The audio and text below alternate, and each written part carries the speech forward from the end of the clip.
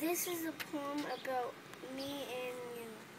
Dirt is cuddly like when you cuddle me at night. And rocks are like when you hug me tight. And these seeds are like when you dance with me.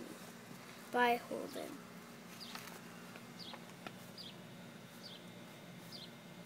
That's awesome, dude.